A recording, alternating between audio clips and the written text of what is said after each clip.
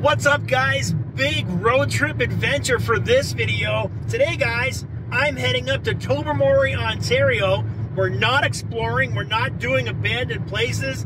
Today guys, we're gonna go and we're gonna spend the weekend on Flowerpot Island. If you don't know what Flowerpot Island is, it's an island up in Tobermory in Bruce Peninsula of Ontario, Canada. And you can go there and you can take a ferry boat over there as a tourist and spend the day but they also have six campsites available, which are very hard to get. And guess who managed to get one? This guy. So we're gonna spend the weekend, but first we gotta go to Bruce Peninsula National Park. We're gonna spend the night there. We're gonna go see the grotto, which is one of the most beautiful cave rock formations in the province. I'm gonna go check that out. And then in the morning, I'm gonna take you guys through the process required to get your permits, to get your tickets, take the ferry, go over to Flowerpot Island and we're gonna spend the weekend. We're gonna check it out, guys. Flowerpot Island all weekend. You, me, and whoever else is staying. So, cue the music, cue the intro. See you guys there.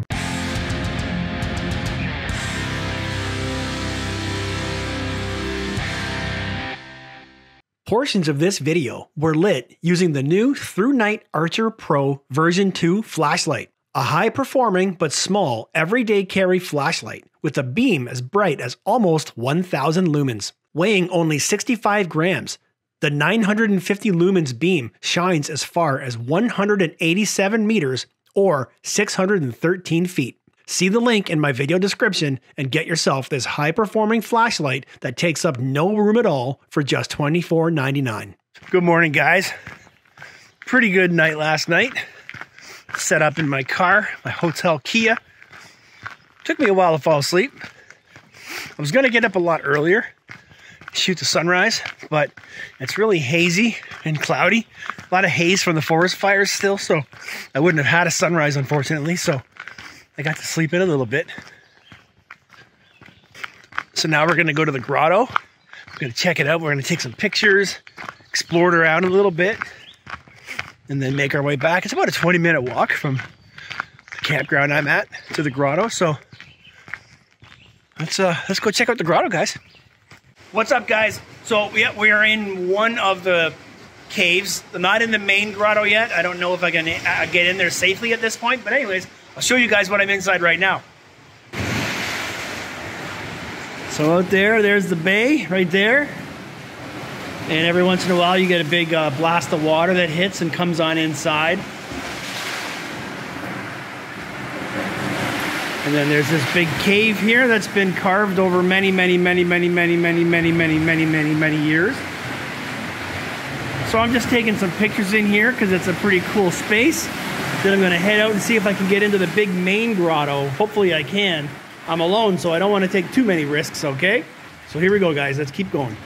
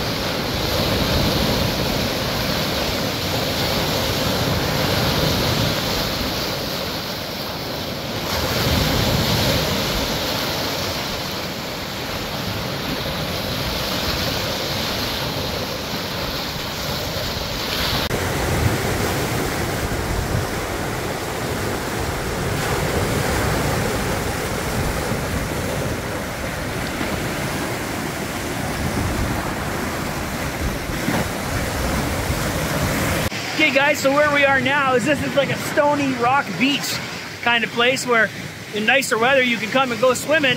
Um, my wife and I actually came here swimming a couple years ago. It's really, really refreshing because the water's so green. I'll show you here.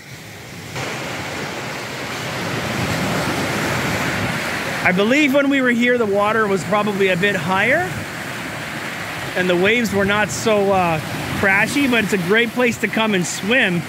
So the grotto is just up there somewhere. And but then you'll pass this beach on the way in and you can come down here in nicer weather and go in for a dip. Pretty nice, guys.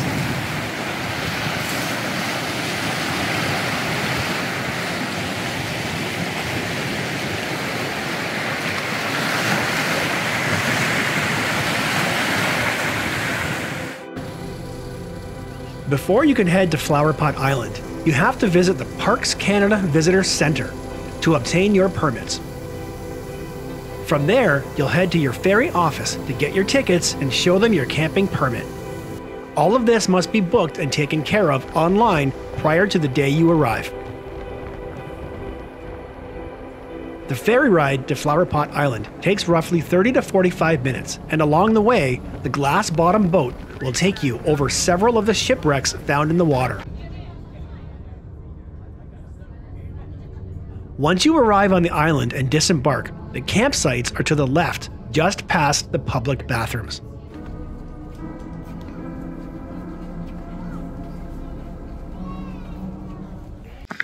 Okay, guys, we're off the boat on the island.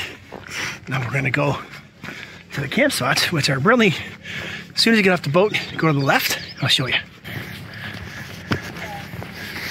So this here is site number six, in there, and I'm number two up here. So just a quick, short little jaunt, hopefully. Pretty rocky, but that's okay because it's not very long to get there. I think the sites are pretty close together. So, okay, we're almost there, guys. Here's site three, and I can see my site just up ahead. Let's go. So it looks like there's a there's a bathroom right there, and then a bit of a lookout right here. That's cool. And then here's site two, guys. Here we go. This is me. I got a picnic table. I got a thing to put my tent on. And got a nice view. Oh, that's good. Okay, guys, let's get set up. Stay here for two days.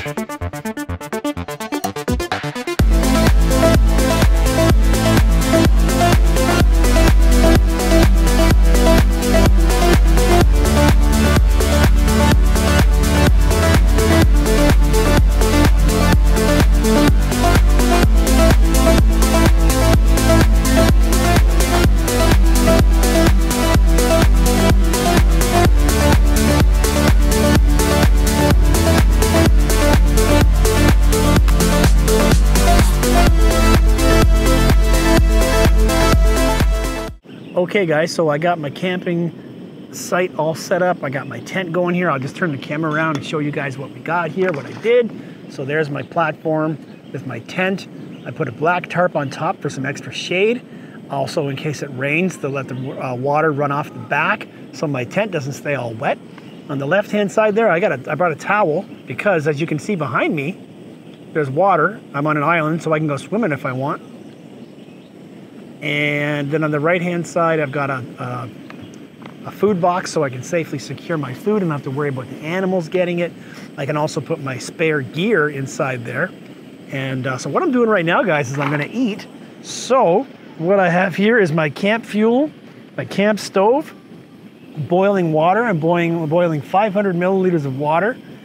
And I'm gonna have myself some noodles and beef. I've had this for quite a while. My favorite dish is the spaghetti. This is my all-time favorite camping dish, but I'm gonna save that for later. I also brought myself some oatmeal. And uh, let's see, I got coffee, a couple different types of coffee. I got some eggs for breakfast. all kinds of stuff. I got my mug here. I brought two small canisters. These ones have not been used yet. I've got this one that I've already used, so we're gonna get that one going. So, so it's gonna take about 15 minutes to cook the food that I'm eating, and it's probably gonna take about 10 minutes for the water to boil. So I'm starving, but I'm not eating for like another half an hour. So I'm gonna sit, I'm gonna chill, and then after I eat, we're gonna go do a little bit of a tour of the island and I'll show you guys what's going on on Flowerpot Island. Okay, so here's the thing right now. Um, so I'm at site number two, which is the second farthest site. And the problem is that if you look right behind me, there's that little outlook thing right there. Well, every person or people or group that walks by this site has to go stand there and go ooh ah and get all excited. Now, site number one to my left is not that much farther, but I feel like site number one would be better.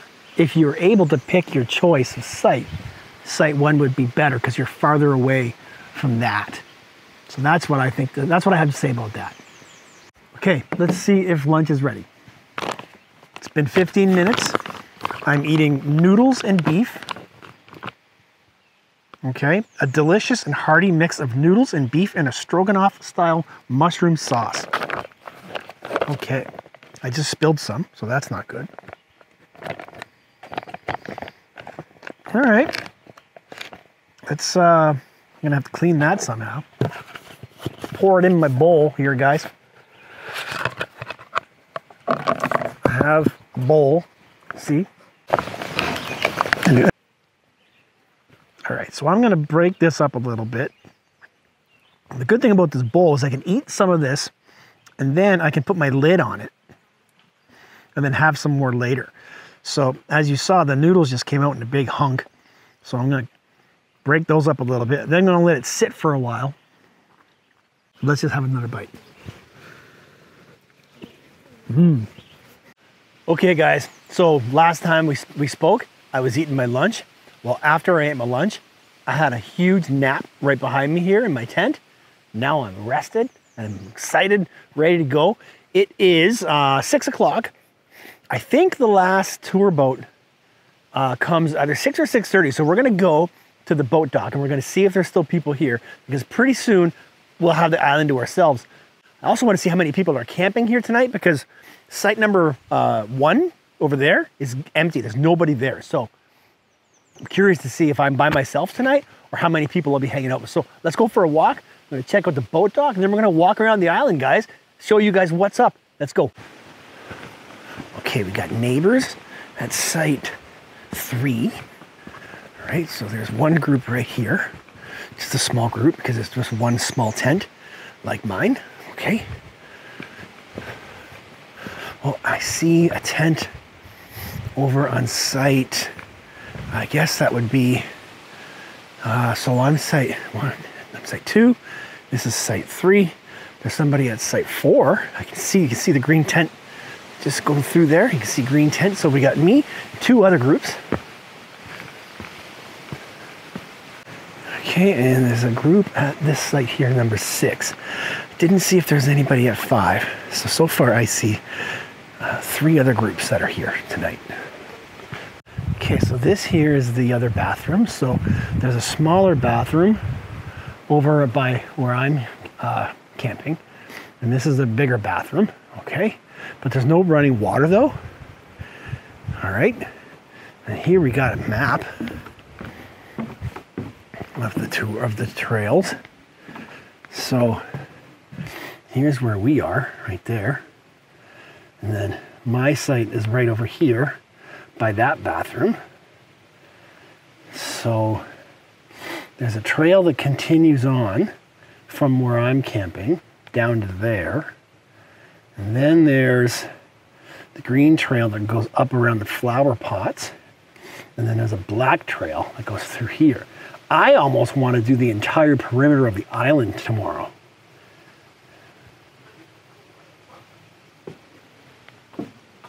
See yeah, so there's one more tour boat to come to get rid of these people here so we can have the rest of the night to ourselves, guys. Okay? kind of excited to have the island to myself tonight, guys. Because, man, the tourist people were loud today.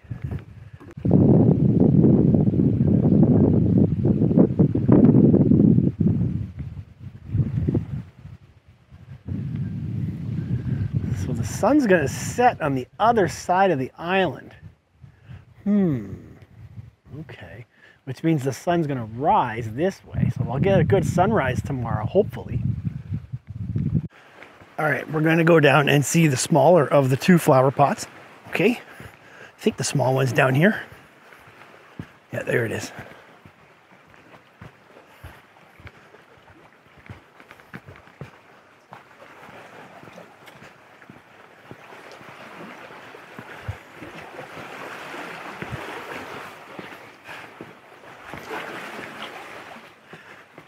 There it is, guys.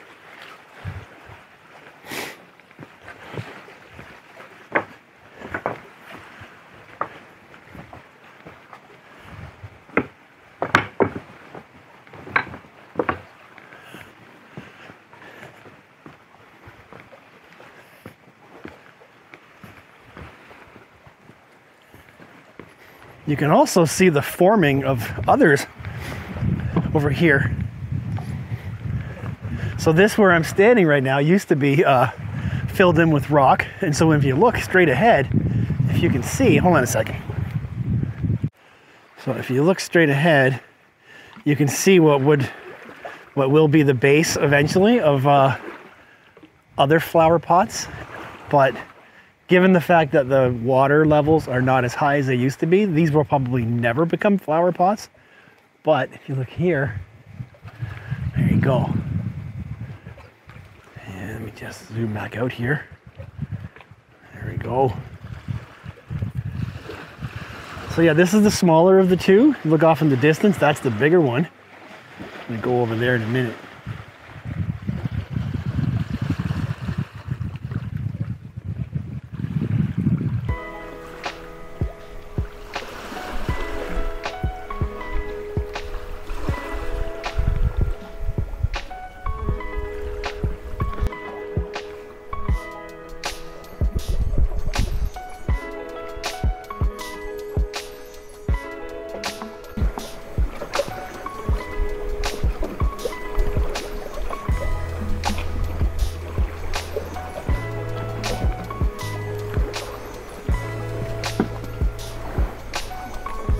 We can actually walk the rocky beach all the way to the other flower pot. We don't have to go back in on the uh, on the trail. So let's do that.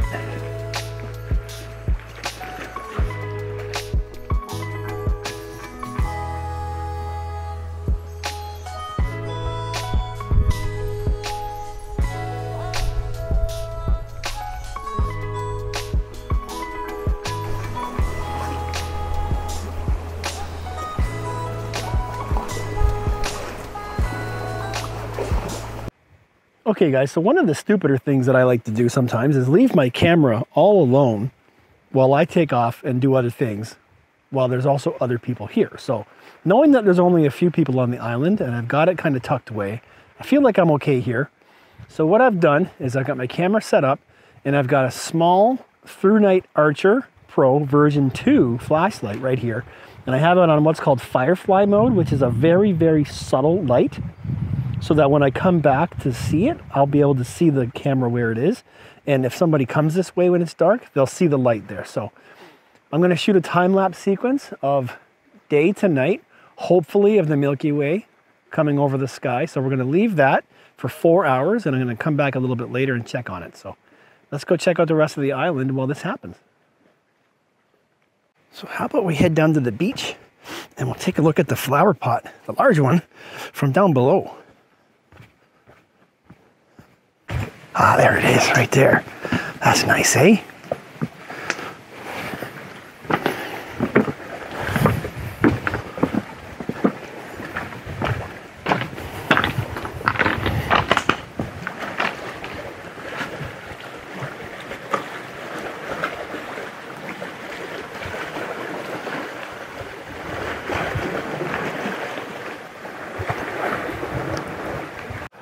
Just saying hi, guys.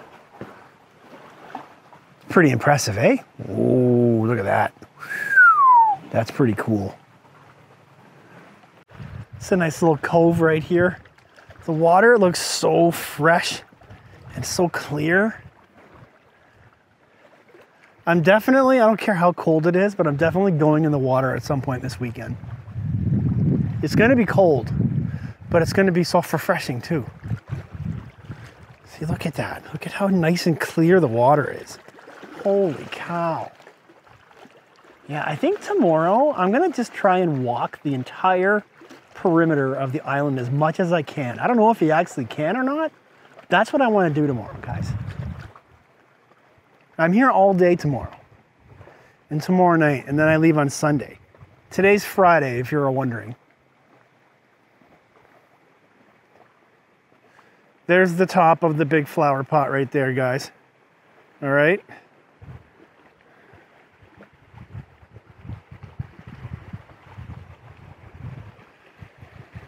I got to tell you guys, I am loving it here all by myself.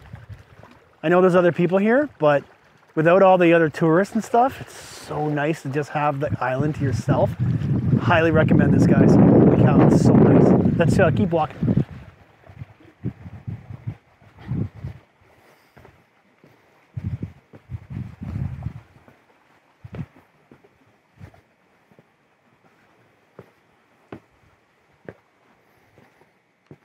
All right, so let's see where we're at versus where we started, guys, okay? So, uh, I am camping right here. And we started right here where I started filming. And we have now walked all the way up, small flower pot, large flower pot. And now I've gone all the way through here, and now we're up here at the light station. So we're gonna go up there, and then we're gonna be able to see the sun setting. All right, let's go uh, check it out, guys.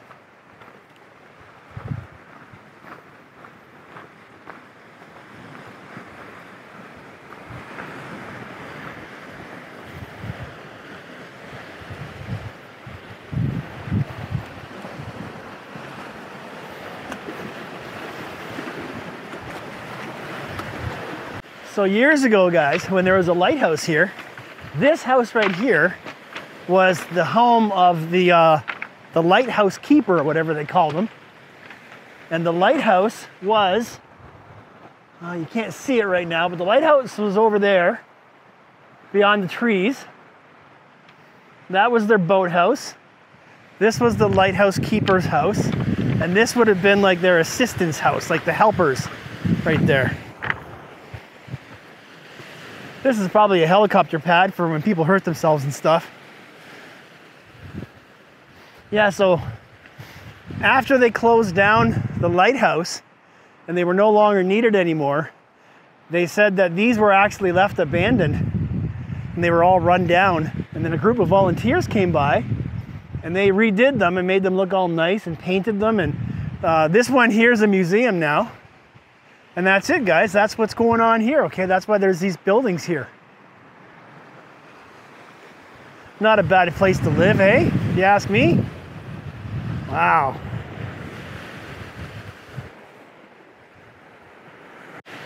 So it's 7 p.m. right now.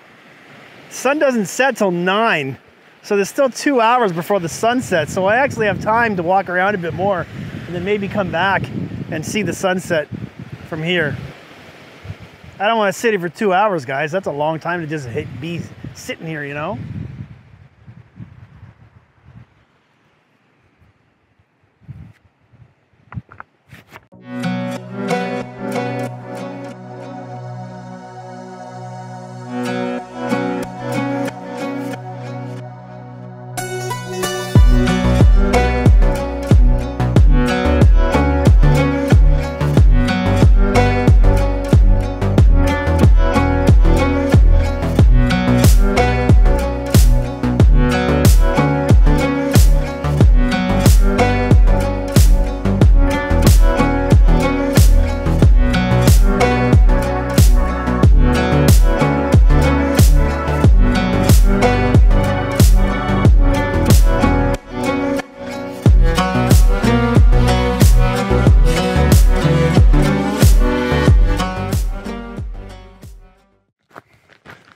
Up, guys? So it's uh, it's about midnight right now, and uh, I mentioned earlier in the video that I'm using this new flashlight that I got sent. It's the ThruNite Archer Pro version 2. And so right now, I'm wearing it on my hat because it's got a clip on it. So you can clip it on your hat or your hard hat or your helmet or whatever. So I've been using this all weekend. And I wear it on my hat when I'm setting up my camera settings. And I put it on what's called Firefly mode. And that's like a really, really light mode. So you don't get that really, really bright, blinding light while you're doing stuff. So if I'm doing stuff in the dark, I just put this flashlight on Firefly mode on the brim of my hat, like I have it right now. And then I can set my camera settings, I can change lenses, and I have basically both of my hands free to do whatever I want. Just like right now, I'm carrying stuff in my right hand and I'm carrying my camera in my left hand. So both my hands are free because I got the camera, or both my hands are free because I have the flashlight on the brim of my hat. So right now I have it on the on the turbo mode, which is the highest, brightest mode. So I can see it's really dark. So super cool flashlight. And uh, so they sent me this to try. So if you guys like the way it sounds and like the way it looks, pick one up for yourselves. There's a link in the video description to pick you guys up the ThruNite Archer Pro version 2. It's really small, but super powerful. And I'll have some more information about the flashlight in the video description. So, trying to get back to my camera, shooting the time lapse right now of the Milky Way. So, uh, see you guys back here in a bit. After a late night of shooting time lapse videos and taking photos, I retired back to my campsite for the night and a quiet, peaceful, undisturbed sleep. In the morning, the first tour boat arrives at around 9:30 a.m. and it drops off or picks up tourists all day long. Today, my goal will be to find a part on the island where there are no people around. Okay guys, so I'm on my trip around the island and where I'm at currently, there, there's a lot of no going on here. I don't want all of the people. This is why I'm going on off parts of the island where most people, my beard is getting very gray. This is why I go to parts of the island where people don't go, because I don't want to be around people, guys. All right, so I'll show you where we're gonna go.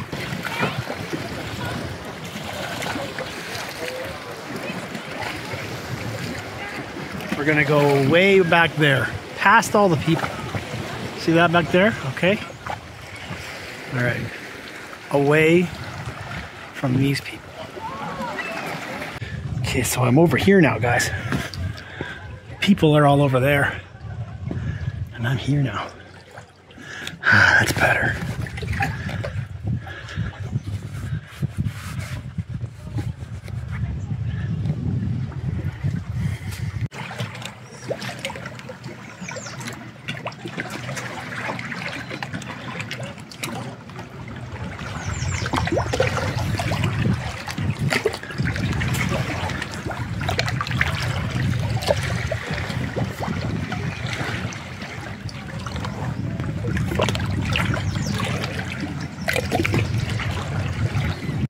Right, guys. So, all right, guys, we're still here, and I'm in the middle of the island right now. Well, not in the middle of it, but so I showed you guys last night the lighthouse. So the, the house is over there. So I'll show you guys where we're at. So there's there's the light. The not it's not actually a lighthouse. It's a light tower, and so that's where the buildings are. So I made myself made my way around there, and now I've hiked across these rocks here on this rocky beach and then I'm gonna make my way around that way. And I know for sure that way there's nothing. Like there's no touristy stuff that way. I don't know how much I can get around, but I'm just gonna keep going and see what we can find. So take a quick break. I'm gonna drink some water, cool off a bit. Then we're gonna keep going. See you guys over there. So yeah, so I've been hanging out here for about an hour and a bit by myself. Made my way, I mean, I don't know. I hiked over some pretty big rocks to get where I am. I can't get all the way around the island. I'm kind of bummed about that, but it's pretty it's pretty tough to do. I'm sure it can be done, but I'd have to do it wearing pants and more appropriate uh, clothes because there's poison ivy, probably some ticks, and as you can see, I'm just wearing shorts and a tank top today, so I'm not really appropriately dressed to go digging around and hiking deep into the woods here. So anyways, I just been hanging out here. I'll turn the camera around, make it a little wider here. So just been hanging out on these rocks, sunbathing, drinking water, having some food. Nice blue, crystal clear water. It's way too cold to go in. I've tried twice to go in the water, and it's like jumping into a bucket of ice water. It's so cold. So yeah. But anyways, hang out here a bit longer and then go back to the island, back back into the island and hang out a bit more. So show you guys a little bit more of the island later. I'm gonna chill out. On Saturday night, the last ferry left at 7:30 p.m., which I was not prepared for, as I thought I would be alone by 6 o'clock p.m. So here I am shooting a time lapse sequence while the island is still full of people. I made my way to the lighthouse area, and finally at 7:30 p.m., I was alone to enjoy the summer breeze of the lake and watch the sunset.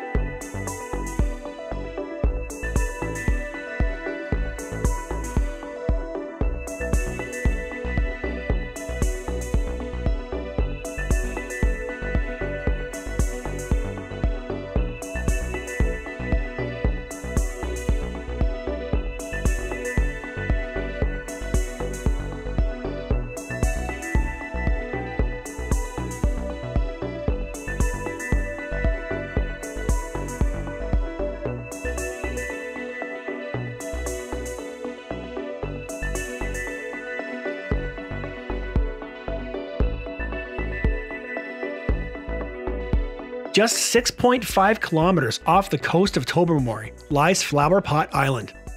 This island is one of Canada's most fascinating natural attractions. Flowerpot Island is famous for its natural sea stacks, also known as the flower pots.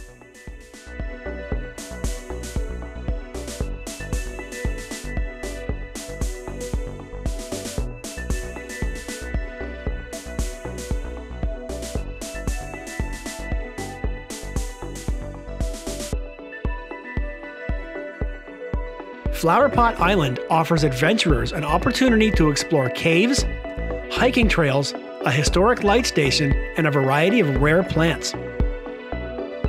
Flowerpot Island is the only island in the Fathom 5 National Marine Park with campsites and hiking trails. The island is only accessible by boat, and there are two tour companies in Tobermory that offer ferries to the island.